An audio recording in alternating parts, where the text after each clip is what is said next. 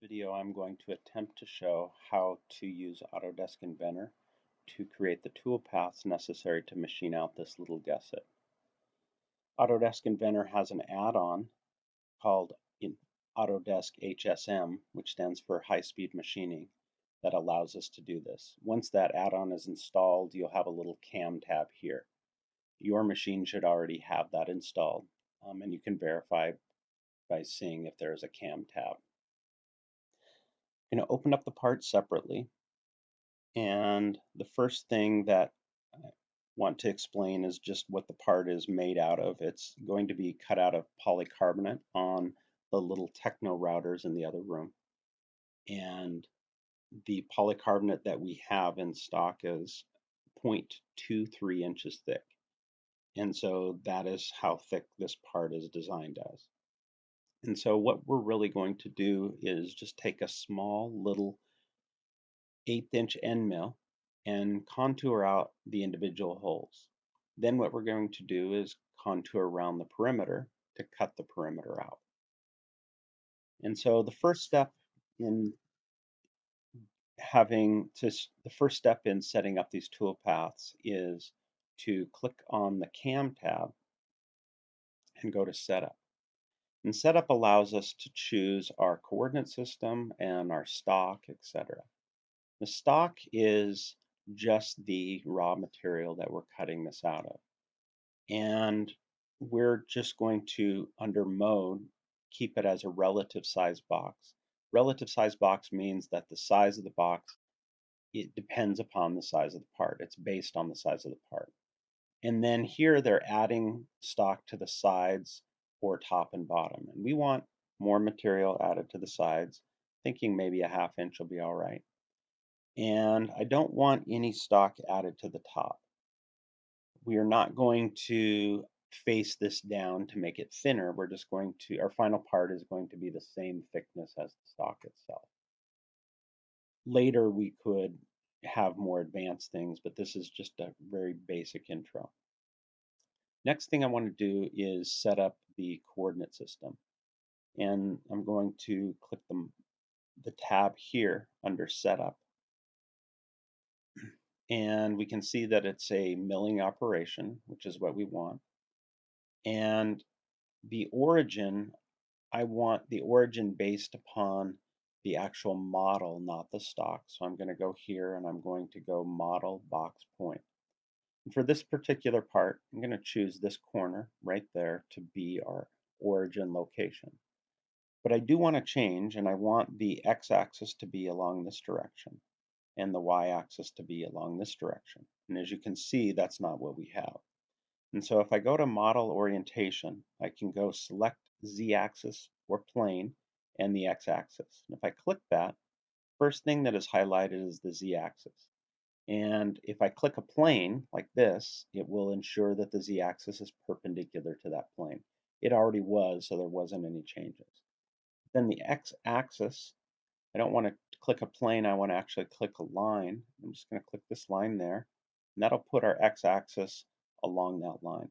Now, if it were facing the wrong direction, you could flip it, but it's facing the correct direction that we want. And so we have the x-axis here, the y-axis that goes back there, and then the z-axis that is perpendicular to the part. Then I can hit OK. the next thing that we're going to do is just set up the contours on contouring the holes out. So up here, I'm going to select 2D contour. And it's going to open up this little window. Under Tool, I'm going to just choose a tool under the sample libraries here.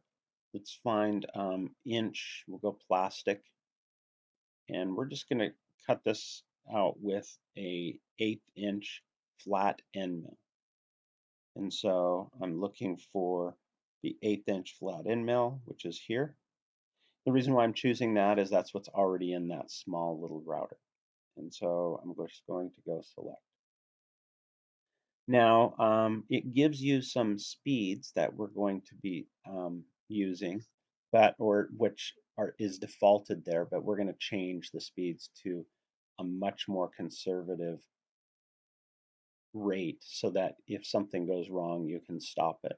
This is a pretty aggressive feed rate um, for um, cutting things out. And so we're going to leave the spindle speed at about 10,000 RPM, but we are going to change the feed per tooth on how fast it's actually going to cut.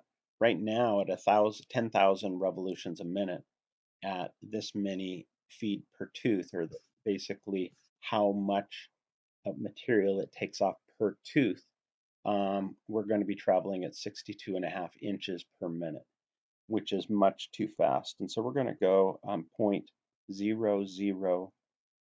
0.0005 or 5 ten thousandths for our feed per tooth for our cutting rate. And then our plunge rate on under feed per revolution. That's basically how fast it goes down for each revolution that it turns. We're going to go 0.0004. Okay, so very slow, just to take it easy when we cut this out. If after you've cut out one, you can see that we could speed things up, we can always come back and change that. That's where what we call the feeds and speeds are chosen. Our lead in and lead out feed rate, I'm actually going to choose as the same as the cutting feed rate. And so at 0.0005 inches or 5 ten thousandths of an inch for our feed per tooth, we're at 15 inches a minute. And we're just going to type in 15 inches per minute for the lead in, lead out, and our ramping. If we were producing thousands of these under production, we would really try to optimize these things, but this is just a one-off part that we're going to make. So the next thing that we're going to do is go to the um, geometry and we're going to select the holes. We're not going to drill these holes, we're going to contour the holes, meaning this little eighth inch end mill is going to go and cut around in a circular path to cut out these holes of the right diameter because these holes have a larger diameter than the end mill that we're using. So all I'm doing is selecting each individual hole. It takes a little bit of time. Then the next thing that I'm going to do um, is go here to the height tab and tell it how deep I want to cut it. Basically, all that we need to worry about in this tab right here is how deep or the bottom height. For the bottom height, we could just say um, the model bottom, because then it would cut to the bottom of the, the piece. Sometimes we want to cut just a little bit deeper to make sure we're going all the way through. So I'm going to go 5 thousandths of an inch deeper or 0.005. Notice I put a negative there and that now gives me a bottom height of negative 0.235 inches because the model is 0.23 inches thick and I'm cutting a little bit deeper. Next thing is this tab, um, which talks about the passes. How do you actually want to cut it out? And one thing that we want to do is we want to kind of go down in steps or multiple depths here. So I'm just going to click multiple depths and I'm going to put a maximum roughing step of 0.07 inches or 70 thousandths of an inch typically try to stay right around the radius of the bit in the actual maximum rough step. And so if it's an eighth inch end mill, the diameter is 0.125. That means the radius would be 0.0625. And so 0.07 or 0.06 would be right around the radius of the bit, or the end mill, I should say. And then the next step that I'm going to do is just under linking, I'm just going to go and take a look at what they have here. The linking parameter, it talks a little bit about the lead in and the lead out. Um, we're not going to really worry about that for this little part right now. And so I'm just going to click OK. And it should give us a little visual of what's going to happen.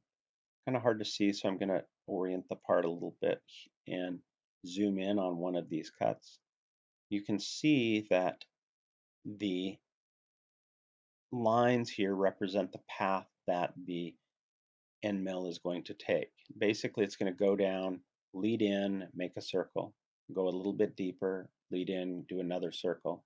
It's going to contour around, clear to the bottom until the part is cut out or the hole is cut out. And we're going to do that for every single hole. Yeah, it would be quicker if we just drilled these holes, but we don't have the right drill bit to fit in the router. Um, we do have the drill bits, but we don't have the right collet to hold them, and that would require us to change a tool as well.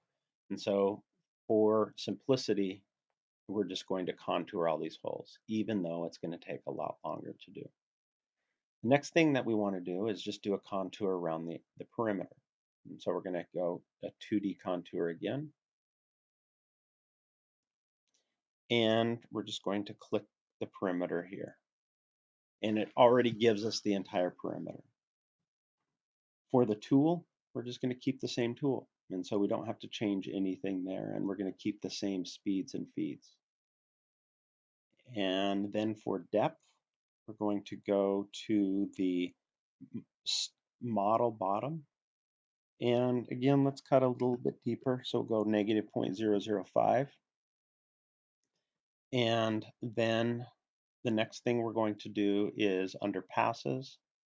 For passes, again, under roughing passes, or I'm sorry, not roughing passes, but under multiple depths, we're just going to go 0.07. And then finally, under the linking parameters, I don't think we need to change anything there. However, one thing that we need to be aware of is once we cut out this part, as we get near the end, it's going to want to flop around because we've cut out all the material. And so it'd be nice to have some tabs, or which is another word for maybe perforation, um, to hold the piece in place. And tabs can be found under the first um, part or this little ge geometry selection. And so if I click tabs, allows you to choose the width and the height of the tabs. Um, so the width of the tab, I'm going to choose wider than that. Maybe we can choose maybe three quarters of an inch. And let's make it 50 thousandths thick. You can start seeing what that looks like and they are separated by a distance of one inch. You can actually position the tabs exactly where you would like them if you want to select points, but we'll just have by, by distance. It looks like four tabs there would hold it in place. Now we're just going to go OK.